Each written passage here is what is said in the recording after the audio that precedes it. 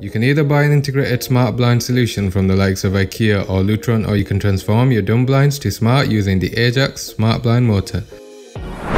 Opening up the box we have the various documents. You want to keep these as the instructions are very good. I'll be showing how you can set this up with ALEXA in this video but if you guys would like to see how you can set it up with Google please let me know in the comments. Next up we have the motor itself. It is a chunky piece however it won't stand out too much once installed. If you have curtains then it'll be even less of an eyesore. The power adapter features a 2.5 meter cable which should be good for most scenarios. This is the provided guide to mark the holes for the backplate and the backplate itself. The plastic plugs and screws for installing the backplate to the wall and finally we have the wheels for the motor. I'll show you what these are for in a bit. The backplate slots onto the motor like this. Absolutely no hassle at all. There is quite a lot of freedom in terms of vertical movement. An important thing to note is once the backplate is installed you won't have much freedom to move the motor up, but you'll have plenty of leeway if you want to lower it. You can take the motor off the backplate by pressing in this nubbin at the bottom with what I just mentioned regarding the vertical movement, you want to measure the distance from the bottom of the backplate to the bottom of the nubbin. I measured this to be just over 15mm or 1.5cm. When you plug in the cable, you'll need additional space so that you're not overly bending the wire, so add about 40mm or 4cm to the 1.5cm we calculated for the previous part. Because the hole in the backplate is a little further up, you want to add 1.5cm to the other two values, bringing our total to at least 7cm. Now that you have the calculations out of the way, you want to use the guide to see where the backplate would sit. For me, the beaded string was way too long so I opened up the connector piece and cut the bead down to size. Don't take too much off to begin with. I'd suggest taking off 8 beads or even less at a time and recheck with the guide.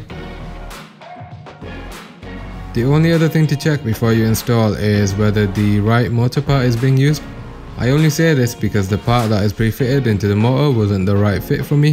The beads are sliding through so the motor won't be working very efficiently or at all to open the blinds. I ended up using the traditional cog design piece rather than the interlaced one. Because I open the blinds using the left part of the beaded string I want the motor to spin anti-clockwise or to the left when I press the up button. This means the switch at the bottom should be on the left you can use the provided tool to change this. When I press the up button it's rotating to the left and when I press the down button it's rotating to the right which is what I want. If you want the opposite to happen simply flip the switch. If there's a chance the connector piece on the beaded string will come into contact with the motor then you can change it over to the provided metal one which is much smaller. It's likely the original connector piece may get stuck in the motor and you don't want that. Before we actually install the motor to the wall, we want to do a pre-test with the motor in hand in case something goes horribly wrong. Slot the cog into the enclosed space and wrap the beaded wire around the cog. With the blinds in the fully closed position, press the up button to start opening them.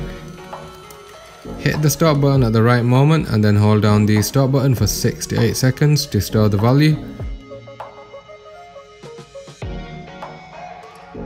Do the same for the down button, press stop and then press stop again and hold for 6 to 8 seconds to remember the closed position. The LED indicators above the up and down buttons will flash to indicate all is well.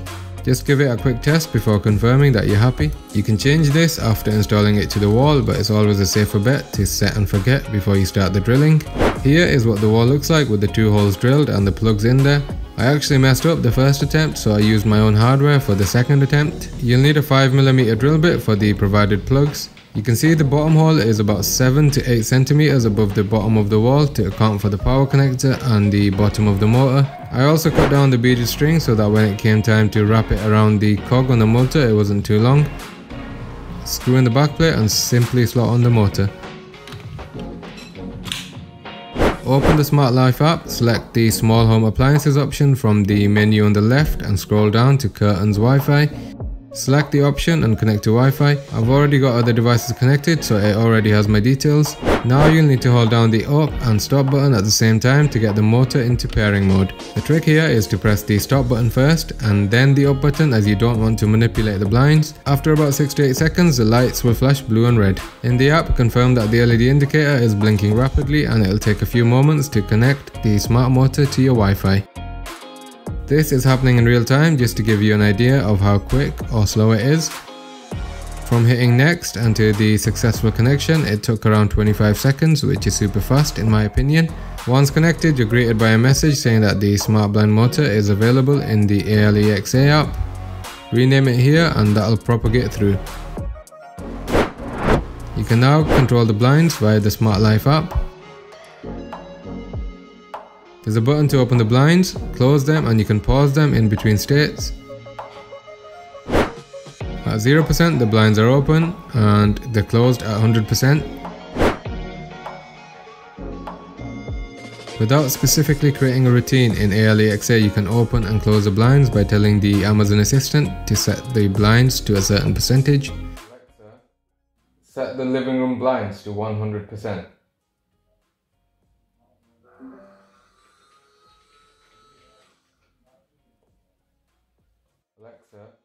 Set the living room blinds to 0%.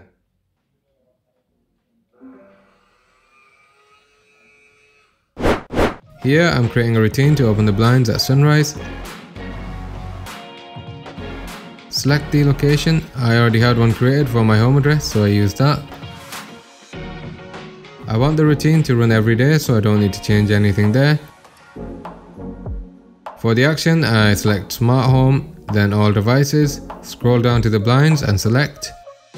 Since the blind motor is always plugged in I don't need to do anything there. For the percentage value, 0 represents the blinds in an open state.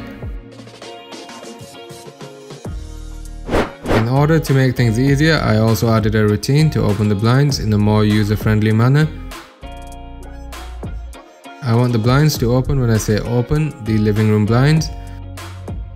Like the previous step, select the blinds from the smart home menu and set the percentage value to 0.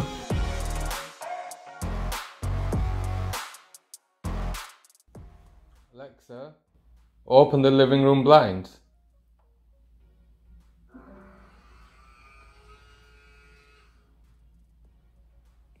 Alexa, close the living room blinds.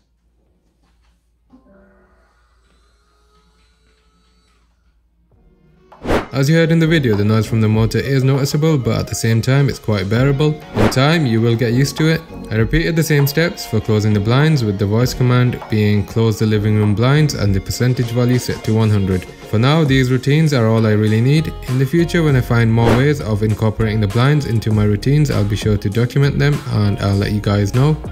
Overall, I'm really happy with the setup process and how well the motor incorporates with ALEXA. I've had no issues with the connection and in the few days since the install, the motor has worked flawlessly, touch wood. It's priced at £90 in the UK and I think it's a worthy investment if you're looking to transform your blinds. Thanks everyone for watching, if you enjoyed the video a like would be appreciated. If you're still here I'm going to guess you enjoyed the video so why not subscribe. I'm open to covering any tech item out there so suggestions are welcome in the comments. See you in the next one.